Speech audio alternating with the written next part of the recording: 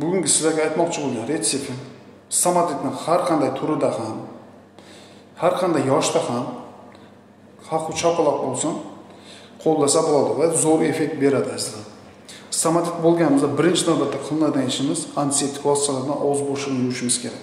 Bularga xlorgeksidin suyuqligi yoki frasilin suyuqligi ikki yuz milli qaynagan suvga ikki tabletcha frasilin ezib shakliga olib kelinib solinadi va barmog'imizga paxta o'ralib o'sha tayyor bo'lgan frasilin eritmasi suyuqligiga yoki xlorgeksidin suyuqligiga bosib og'iz og'izdagi stomatit bo'lgan joylarga va og'iz bo'shlig'i uch martadan yuviladi.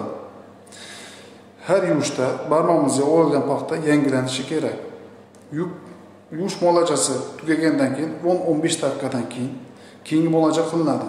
Ya'ni assiklari bir tabletcha ezib shakliga olib kelasiz piyolaga solasiz.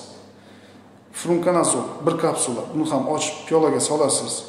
Navakain bir ampula buni sindirib ya'ni ikki foizi ikki milli navakainni sindirib buni ham piyolaga solasiz.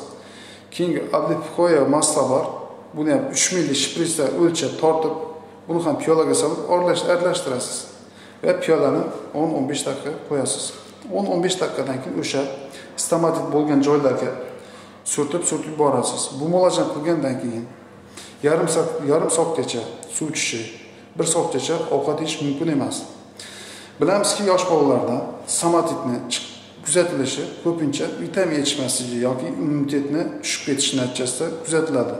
Bunday holatlarda siz uni tabletcha shaklida vitaminlarni immunitet ko'taruvchi dorilarni yoki suyuqlik shaklida berib bolani qiynab o'tirishlari shart emas. Hozirda sivchalarimiz chiqqan ya'ni immunitetni ko'tarish golovit sivchalarimiz golovit sivcha perektum orqadan tiqib yuborasiz. Buni maksimalniy qo'llash vaqti besh kun.